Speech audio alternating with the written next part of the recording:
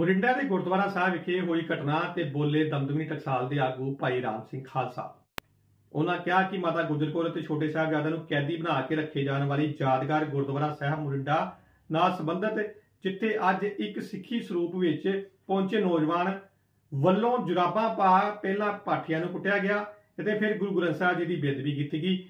ਅਜਿਹੀ ਘਟਨਾ ਤੋਂ ਬਾਅਦ ਜਿੱਥੇ ਸਿੱਖ ਪੰਥ ਵਿੱਚ ਭਾਰੀ ਰੋਸ ਪਾਇਆ ਜਾ ਰਿਹਾ, ਉੱਥੇ ਹੀ ਦਮਦਮੀ ਟਕਸਾ- ਟਕਸਾਲ ਦੇ ਭਾਈ ਰਾਮ ਸਿੰਘ ਖਾਲਸਾ ਵੱਲੋਂ ਇਸ ਘਟਨਾ ਦੀ ਤਿੱਖੇ ਸ਼ਬਦਾਂ ਵਿੱਚ ਨਿਖੇੜੀ ਕੀਤੀ ਗਈ। ਇਹ ਦੋਸ਼ੀਆਂ ਨੂੰ ਸਖਤ ਤੋਂ ਸਖਤ ਸਜ਼ਾ ਦੇਣੀ ਚਾਹੀਦੀ ਹੈ ਜਿਸ ਦੇ ਚੱਲਦੇ ਉਹਨਾਂ ਨੇ ਕਿਹਾ ਕਿ ਅਜਿਹੀ ਘਟਨਾ ਤੋਂ ਬਾਅਦ ਦਸ ਦੋਸ਼ੀਆਂ ਨੂੰ 295 ਧਾਰਾ ਦੇ ਤਹਿਤ ਗ੍ਰਿਫਤਾਰ ਕੀਤਾ ਜਾਂਦਾ ਆ ਅਤੇ ਮਾਨਸਿਕ ਰੋਗੀ ਦੱਸਿਆ ਜਾਂਦਾ ਆ ਅਤੇ ਲੋਕ ਅਜਿਹੀ ਹਰਕਤ ਕਰ ਛੁੱਟ ਜਾਂਦੇ ਹਨ।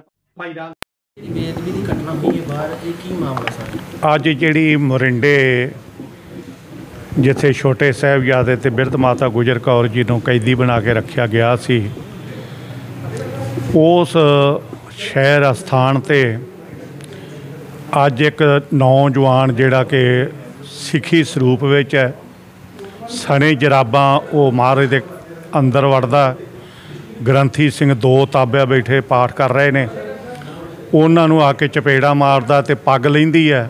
ਦੋਹਾਂ ਦੀਆਂ ਪੱਗਾਂ ਲੈਂਦੀਆਂ ਤੇ ਗੁਰੂ ਗ੍ਰੰਥ ਸਾਹਿਬ ਦੇ ਸਰੂਪ ਨੂੰ ਚੁੱਕ ਚੁੱਕ ਕੇ ਮਾਰਦਾ। ਇਹੋ ਜਿਹੀਆਂ ਘਿਨਾਉਣੀਆਂ ਹਰਕਤਾਂ ਪਿਛਲੇ ਲੰਮੇ ਸਮੇਂ ਤੋਂ ਪੰਜਾਬ ਵਿੱਚ ਵਾਪਰ ਰਹੀਆਂ ਨੇ। ਲੇਕਿਨ ਕਿਸੇ ਵੀ ਸਰਕਾਰ ਨੂੰ, ਚਾਹੇ ਉਹ ਅਕਾਲੀਆਂ ਦੀ ਹੋਵੇ, ਕਾਂਗਰਸੀਆਂ ਦੀ ਹੋਵੇ, ਚਾਹੇ ਹੁਣ ਆਪ ਵਾਲਿਆਂ ਦਾ ਵੀ ਤਕਰੀਬਨ ਸਾਰਾ ਸਤਿਆਨਾਸ਼ ਹੋਇਆ ਪਿਆ, ਤੇ ਇਹ ਸਿੱਖਾਂ ਨੂੰ ਕਦੇ ਵੀ ਇਹੋ ਜਿਹਾ ਇਨਸਾਫ ਨਹੀਂ ਮਿਲ ਰਿਹਾ।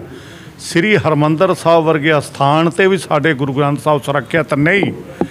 ਤੇ ਜੇ ਕੋਈ ਰੋਕਦਾ ਹੈ, ਕੋਈ ਟੋਕਦਾ ਹੈ, ਕੀ 295 ਇਹ ਧਾਰਾ ਲਾ ਕੇ ਤੀਜੇ ਕੁ ਦਿਨ ਜੀ ਇਹ ਪਾਗਲ ਸੀ, ਜੀ ਮੈਂਟਲ ਸੀ, ਕਹਿ ਕੇ ਸਰਕਾਰਾਂ ਛੱਡ ਦਿੰਦੀਆਂ ਨੇ।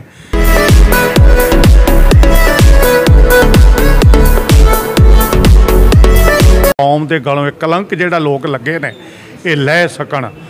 ਔਰ ਲੰਮੇ ਸਮੇਂ ਤੋਂ ਕੌਮ ਜਿਹੜੀ ਹੈ ਇਸ ਸੰਤਾਪ ਨੂੰ ਹੰਡਾ ਰਹੀ ਹੈ।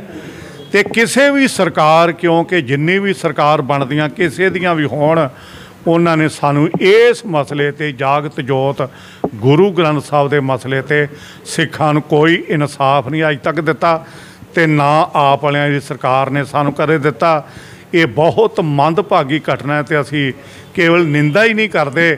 ਅਸੀਂ ਕਹਿੰਨੇ ਵੀ ਇਹੋ ਜਿਹੇ ਬੰਦਿਆਂ ਦਾ ਹਾਸ਼ਰ ਚੁਰਾਹੇ 'ਚ ਖੜਾ ਕੇ ਇਹਨਾਂ ਨੂੰ ਸਜ਼ਾ ਮਿਲਣੀ ਚਾਹੀਦੀ ਹੈ। ਬਹੁਤ ਹਿਰਦੇ ਵਲੂੰਦਰ ਦੇ ਨੇ ਸਿੱਖਾਂ ਦੇ।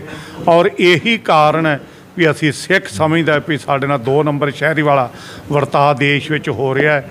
ਤੇ ਅਸੀਂ ਕੀ ਸੁਰੱਖਿਅਤ ਹੋਣਾ ਹੈ?